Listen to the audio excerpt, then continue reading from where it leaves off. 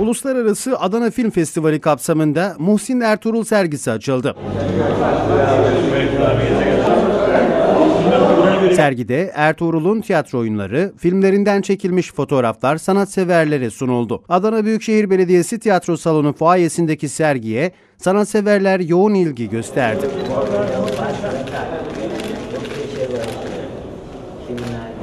Sergiye ünlü tiyatrocu Ayla Algan da katıldı. Muhsin Ertuğrul'u anlatan Algan, kendisini şehir tiyatrosuna 1960 yılında Ertuğrul'un davet ettiğini belirtti.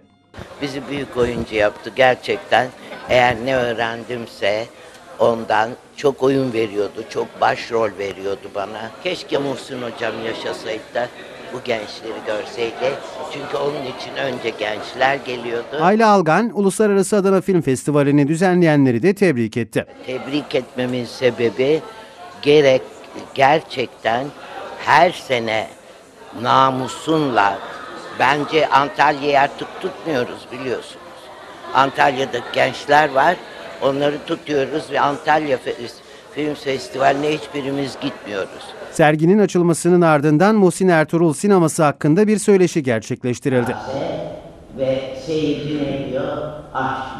Sinema alanında Türkiye'de ilk önemli katkıları gerçekleştiren Muhsin Ertuğrul, 1922-1939 yılları arasında Türkiye'de film yapan tek kişi olmuştu.